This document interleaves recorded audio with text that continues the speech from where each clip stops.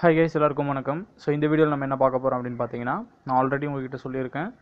எப்போ எப்போல்லாம் இந்த நியூஸை நான் கேட்குறேனோ கேள்விப்படுறேனோ ஸோ அப்பப்போலாம் இந்த அலர்ட் மெசேஜை நான் கொடுத்துக்கிட்டு தான் இருப்பேன் அப்படின்ட்டு ஸோ அந்த விதத்தில் சமீபத்தில் திருச்சியை சேர்ந்த ஒரு இருபத்தி ஐந்து வயது வாலிபர் ஒருத்தர் வந்து சென்னையை சேர்ந்த ஒரு நபர்கள்கிட்ட வந்து ரயில்வே துறையில் வே வேலை வாங்கி தரதா சொல்லிட்டு ஒரு ஃபைவ் லேக்ஸ் ருபீஸ் இழந்திருக்கிறாரு. ஸோ அந்த ரெண்டு பேர் ஏமாத்தின ரெண்டு பேரை வந்து போலீஸ் அரெஸ்ட் பண்ணியிருக்காங்க. ரைட்டா ஸோ திருச்சி டு சென்னை எப்படி லிங்க் லிங்க் ஆகிருக்குன்னு பாருங்கள் சென்னையில் இந்த ரெண்டு பேரும் வந்து என்ன சொல்லியிருக்காங்கன்னா நான் ரயில்வேல தான் வேலை செஞ்சுட்டு இருக்கேன். ரொம்ப சுலபமான விஷயம். ஸோ ஈஸியாக வந்து உன்னை உள்ளே அனுப்பிச்சிடுறேன் அப்படின்னு சொல்லிட்டு அஞ்சு லட்ச ரூபாய் வந்து வாங்கியிருக்கிறாங்க. ஸோ அந்த அஞ்சு லட்ச ரூபாயை ஏமாத்திருக்கிறது பின்னாடி தெரிய வந்து போலீஸ் ஸ்டேஷனில் கம்ப்ளைண்ட் கொடுத்து இப்போ அந்த ரெண்டு பேரும் பிடிச்சி ஜெயிலில் போட்டிருக்காங்க.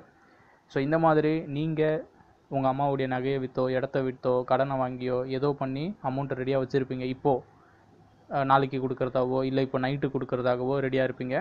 ஸோ அந்த மாதிரி நபர்கள் இந்த வீடியோவை பார்த்துருந்தீங்க அப்படின்னா தயவு செஞ்சு கொடுக்காதீங்க. ஏன்னா பல ஏஜென்ட்டுகள் இந்த மாதிரி சுற்றிக்கிட்டு இருக்காங்க. ஸோ இது ஒரு அலர்ட் ஓகேங்களா ஸோ இந்த மாதிரி நீங்களும் ஏமாறக்கூடாது அப்படிங்கிறது தான் எல்லாருடைய நோக்கம். எல்லாருடைய விருப்பமும் கூட. ரைட்டாக நிறைய பேருக்கு இது இதுக்கு ஆதரவு தெரிவிக்கிறாங்க. இந்த மாதிரியான விஷயங்கள் போடுறதுக்கு.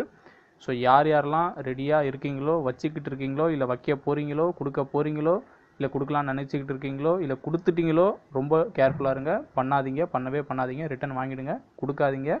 எந்த நகையை விற்க போகிறதா இருந்தாலும் சரி எது பண்ண போகிறதா இருந்தாலும் சரி பண்ணாதீங்க. வேண்டாம். படித்து வாங்கிக்கலாம். ரைட்டா இல்லைனா இந்த மாதிரியான ஏஜென்ட்டுகள் இன்னும் வளர்ந்துக்கிட்டு தான் இருப்பானுங்க.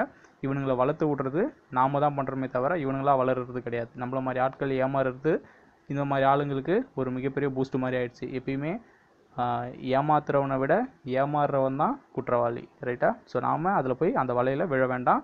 யாரும் பணத்தை கொடுத்து ஏமாற வேண்டாம். படித்து வேலையை வாங்குங்க. So thank you thank you so much